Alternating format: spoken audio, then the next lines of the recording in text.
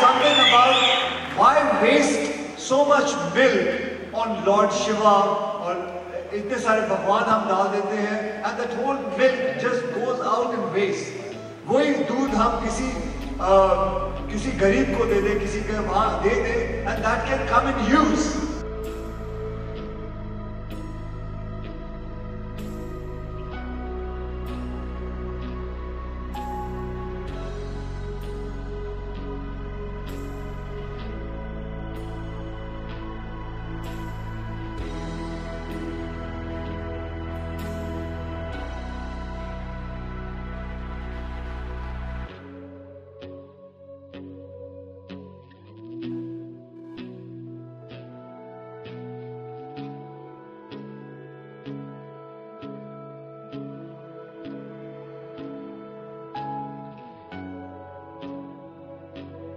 Are you wasting so much of oil and milk on God?